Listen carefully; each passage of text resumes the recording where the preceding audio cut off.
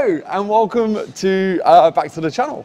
Now our last video to you was a machine-based workout and today what do we have? Another machine-based workout. This is the second one that we um, are going to design for you um, so that you can follow when you come in and about the gym. And it will work in tandem with the other one we did. So if you've done the other one a couple of times and that's great, then you can slide this one into your programming and maybe do them, what, twice a week each? Yeah. That'd be great. Perfect. What's up first? Pull-ups. Excellent. Let's let's go. So the first exercise we've got for you is pull-ups, which are just here. This is the pull-up machine, and we'd like you to do what's called machine-assisted pull-ups.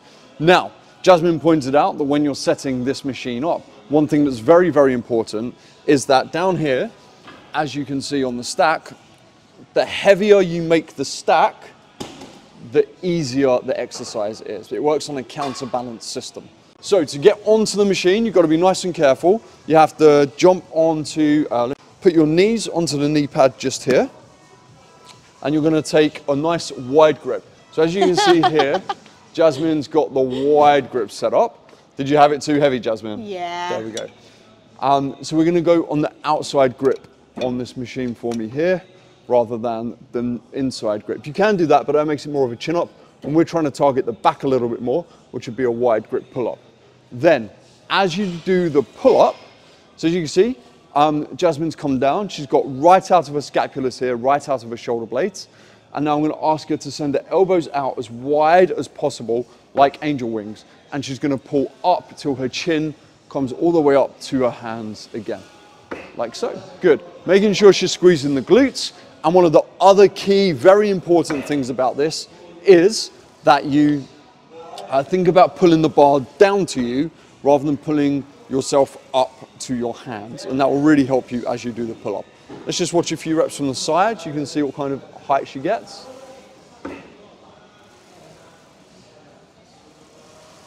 Lovely work, Jazz.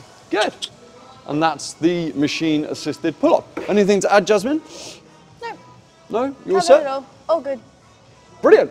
Great. And we're going to ask you to do four sets of 10. 10 reps on that. And that will go really, really well for you. Excellent. What's next? Deadlifts on a machine. Machine based deadlift. so, next up, we've got the machine based deadlift.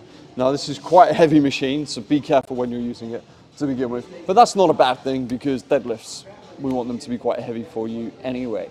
Uh, this machine is just opposite the, the kind of squat racks and the cages that we've got facing the mirrors in the gym. And it's pretty straightforward as an exercise. Now, the deadlift is really useful um, for your posterior chain, which is all the muscles. Turn around for me, Jazz. Which is all the muscles that kind of go the calf, the glutes, and then what we come into what's called the erector spinae, which supports the spine as you go up the back. That's um, and that's why we like deadlifts. Thanks, Jazz. Now to set yourself up on this, to begin with, I genuinely don't think you're going to need any weight. You might surprise yourself, but let's just start with the machine to begin with. Um, and you're going to do what's called a hip hinge, which is a sideways ah, movement where you bend at the hips. So the important thing here, sorry, Jazz, could you just do that again for me? There you go, that's the hip hinge. So with that, what Jazmin's doing is she's sending her hips back as far as possible. She's not just thinking about going down to the floor. Stand up for me. So it's all about sending the hips all the way back on this line here. And then the knees will follow in a slight bending position just here. But you can see she's not in a squat position as she's doing this. Now all she's going to do is keep her chin down, lovely, as if she's got a shot glass between her chin and her neck and then she's going to push through the floor as hard as she can in order to stand up and to lift the machine like so. Great. Give us a couple more reps, mate.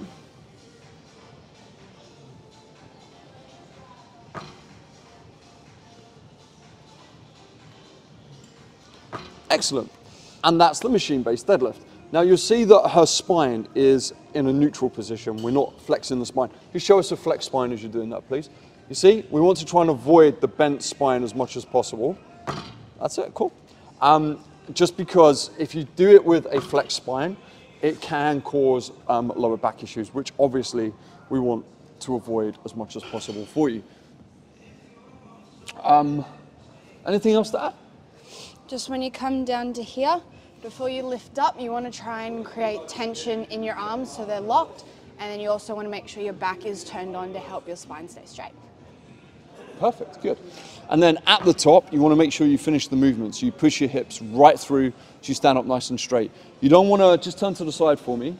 And Jazz, if you could just overdo that action for me. You don't want to end up like that. You don't want to end up with your shoulders um, right behind your hips. You just want to end up with everything in a nice neutral alignment from the floor all the way up to your shoulders.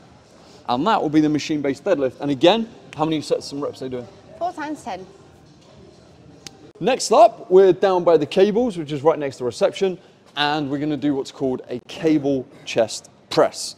Now, the setup of this is quite important, as we've just discovered as we have setting up for Jazmin. So we have these cables here, these parts, and what they do is if you pull this out here, then it will change the height of it. Now, for this exercise, you want to make sure that the, um, the cables are kind of set in line with your nipples is roughly where you want little low, yeah, like the handles. So where this part of the handle is, where the, the two wheels meet on the rope, that's what you want in line with your nipples because that's the line of force that you're going to be doing the exercise with. Then you're going to take a handle on each side. Let me come this side so I think I'm in a bit in the way. Good. That's it. Once you've got them here, take a big step forward and have one foot. Let me just show you the foot position. You're going to have one foot in front of the other and all of your weight on that front foot just like Jazmin's doing so very well. And then what you're gonna do, you're gonna squeeze your chest together and push the hands out in front of you, like so, and back. Good. Good job, Jazmin. Now remember when we spoke about doing the machine chest press on the other, um, on the other workout that we did for you, we asked you to make sure that you kept a nice arrow position between your elbows and your shoulders. It's a bit harder on the cable, so if you can, just bring the elbows down a little bit, Jazmin, that's it, and go from there. Good. And how's that feel? Do you feel that a bit more in the chest? Definitely. Good. And that's what that's sort of the position you need to end up in. Good. Lovely. Now the other thing you'll notice as well is I'm just going to take you to the side because I want you to see what position you bring the arms back to. Because with the cables, it's quite easy to end up kind of overextending the shoulders. So Jazz, if you could just show us that side angle. Good. So she's coming forward there, just to there. So you just want the elbows past the line of the spine. That's it. And then you're going to push away from there. And that's that. Again, select the weight that is appropriate for you. Experiment with that and make sure that you're safe to begin with. There's nothing worse than setting this up a bit too heavy and the cable pulling you back and your shoulder getting into a nasty position. Nobody, nobody wants that for you.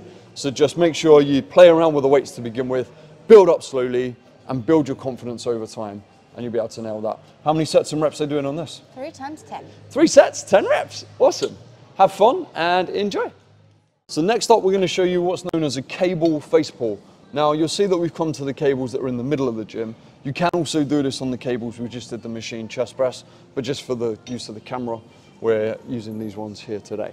Uh, you want to get a rope extension, which is one of these things, with the two plastic knobbly bits at the end and you're going to attach that to the cable. And again, we're on a machine, so what does that mean, Jazmin? We're going to check our resistance to make sure it's right for us. Excellent.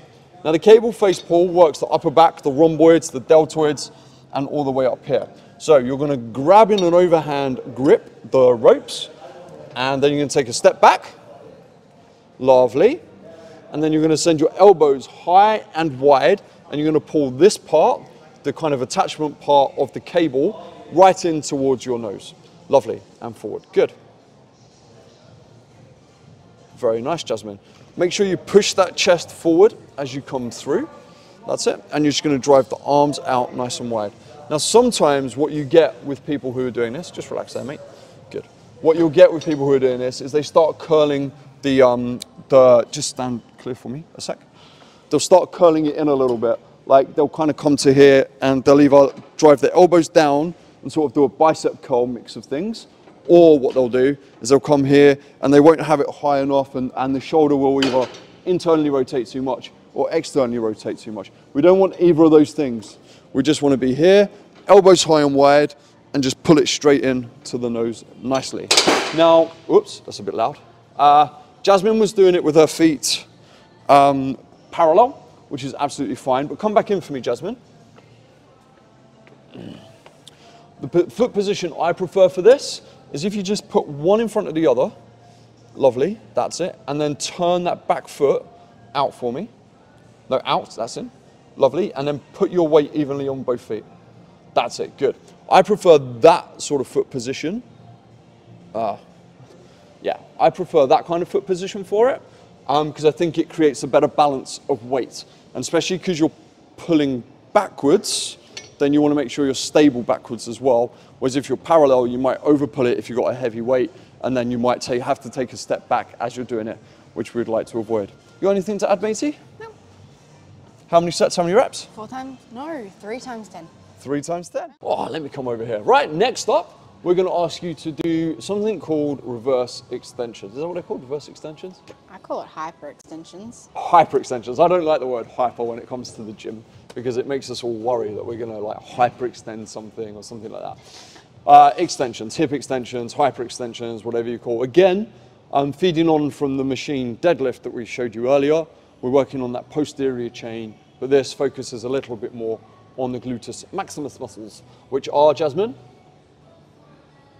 Your gluteus maximus muscles? Ah, our buttocks. Our buttocks. Excellent, good.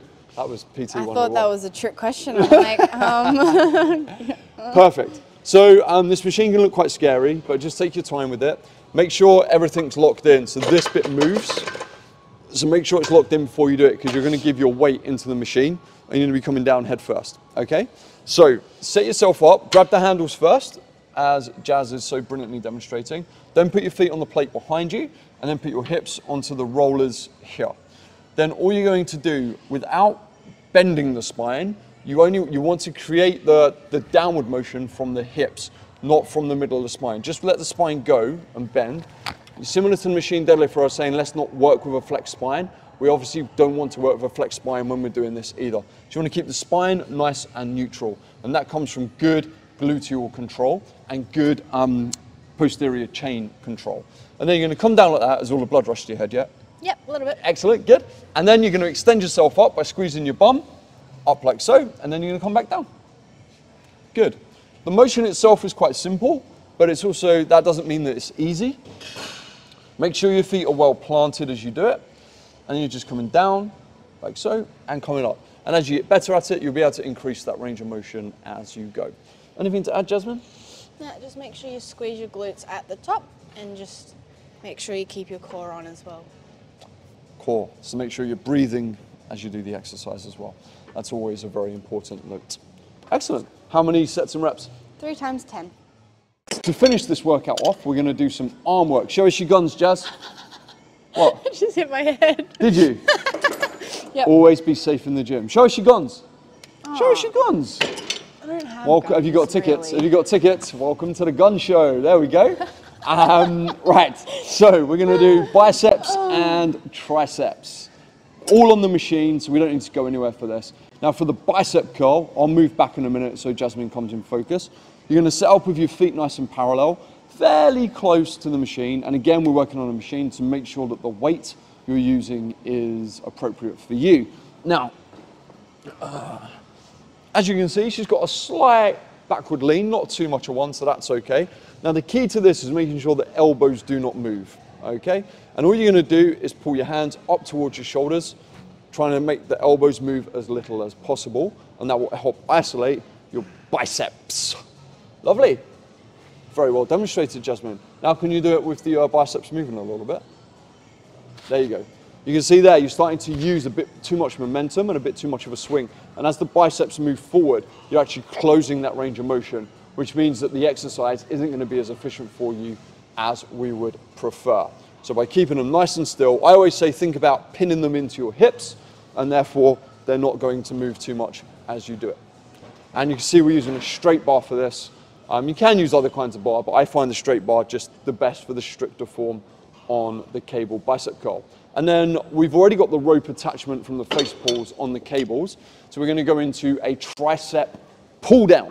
Now, the biceps and the triceps work synergistically. That basically means that when you move a bicep, the tricep extends, or when you contract the bicep, the um, tricep extends, and the reverse happens. So when you uh, contract the tricep, the bicep extends. The reason I'm telling you this is that basically the rules are almost exactly the same for the bicep and the tricep. So you're going to pull it in, and you won't be able to pin it to your hips as much. It'll be slightly higher up, but that's about where we want it. You can lean back in the hips a little bit if you want, so you have a flight, slight forward lean just to help you get a nice bigger extension and a range of motion through the tricep just here. Now, as you can see, Jazmin's doing a great job here. As she comes down, she's just separating the cable to the side of her body, which again makes sure that we get the arm nice and straight. Without that slight separation, just do one without that slight separation, Jazz. You can see that the, the tricep isn't extended as much. Her elbow's not as straight, and therefore she's not getting as much activation through that muscle.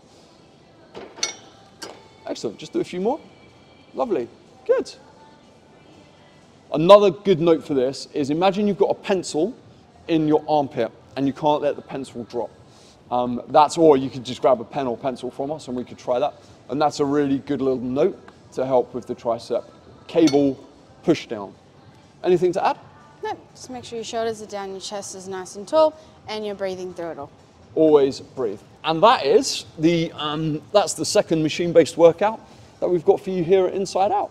Uh, so like we said at the start of the video, you can do this, um, you can do this on say a Thursday and do the other one on a Tuesday.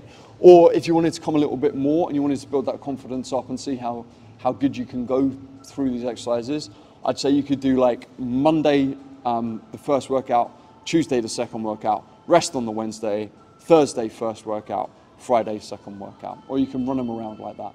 Um, sometimes it's good to try and get a day's rest in between each each workout that you do. So you could do like one day on, one day off, one day on, one day off. But just keep rotating them and uh, see how you go with those. Anything to add? Um, with your biceps and triceps, it's three times 10 and it's a superset. So you want to do them close together, bicep, tricep together, and then have a bigger rest and then do that three times. It's a good job I invited her because I completely forgot to tell you that. Um, right, that's it. As always, if you have any questions for us regarding the workouts and machines, or anything that's good for your body. We're the two personal trainers here in the gym. Paige is the exercise physiologist, but we can all cover all bases. And so feel free to ask us if you see us, and we'd love to help you out. Thanks for being here. Hopefully, we'll get to speak to you again real soon. Peace, love, and protein. Ciao, ciao. Ciao, ciao.